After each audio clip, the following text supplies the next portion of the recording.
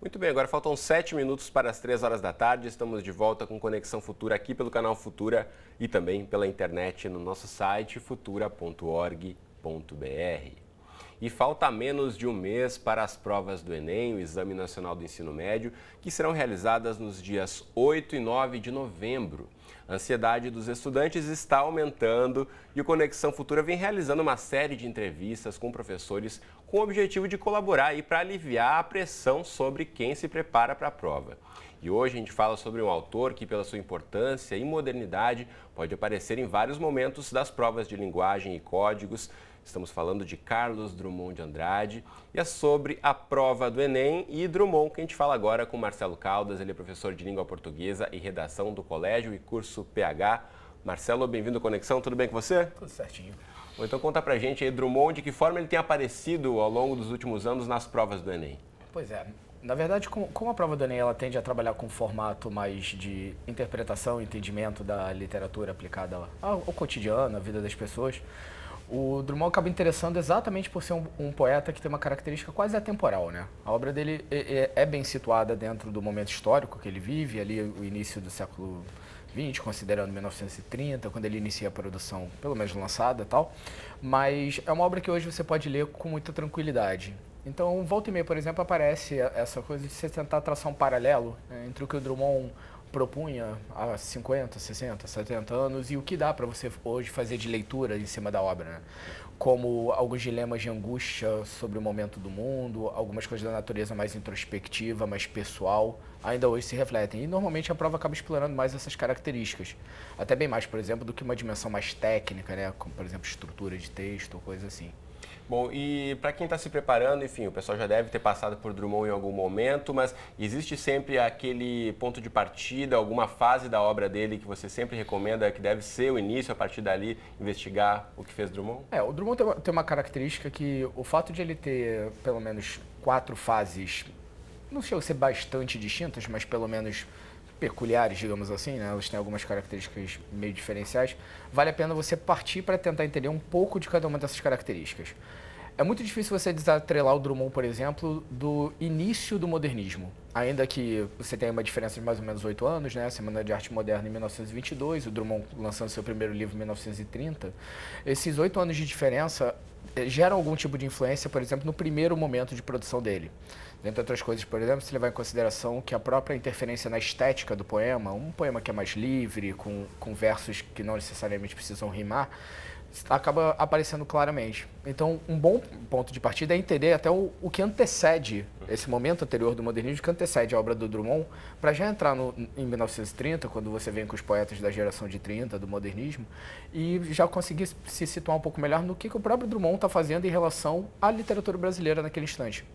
Então, talvez o ponto de partida seja entender o pré-Drummond, digamos assim. Né? E aí, a partir daí, começar a pegar a obra dele, tentando respeitar um pouco, se não, pelo, se não cronologicamente as fases, pelo menos as características um pouco que ele traz em cada poema. Porque é um desses autores que você não vai conseguir colocar num saco todos os poemas e falar, isso é Drummond. Uhum. É, você acaba vendo que São você pega um poema, de repente, é, aí você vê uma característica, vê outra e fala, caramba, isso é Drummond também. Né? Então tem essa, essa abertura que convém ir com calma também, aos poucos, vendo cada uma das partes. Um ponto que você abordou, é importante a gente ressaltar aqui, que na hora de se preparar para uma prova como essa, é importantíssimo conhecer não só a obra de um autor, mas também o momento histórico que ele está inserido, que relação isso tem, também conhecer o contexto da produção de um, de um autor, para se dar bem também numa prova como é, essa. Saber o momento histórico de produção é fundamental. É, você pega, por exemplo, o, o, Drummond vivendo ali aquele contexto super conturbado, né?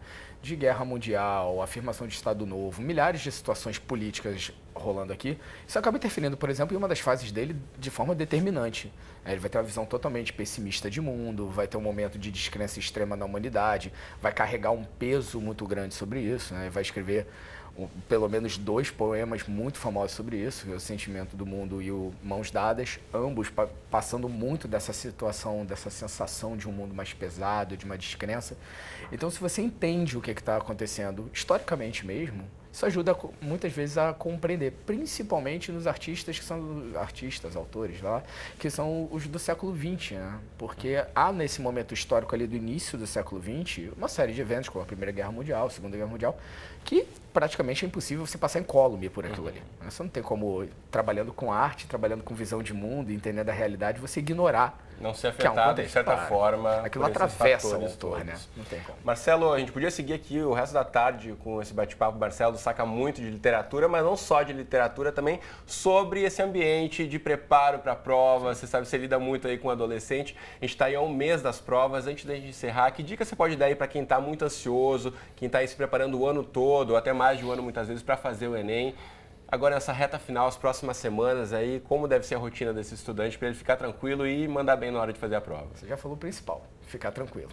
esse, esse que é o mais difícil para muita gente, né? Há, menos de um mês da prova vai bater todo um desespero. Mas a verdade é que essa reta final de preparação ela tem que ser muito bem dosada em relação à resolução de provas antigas, dar uma boa revisada em tópicos principais da matéria, mas ao mesmo tempo também ter uma rotina que seja uma rotina não muito desgastante. A prova do Enem é uma prova cansativa. Né? Você faz dois dias de prova, uma série de conteúdos. A prova de linguagem é uma prova de 45 questões, no dia que você ainda faz uma prova de redação. Então, é preciso ter um preparo psicológico muito grande também.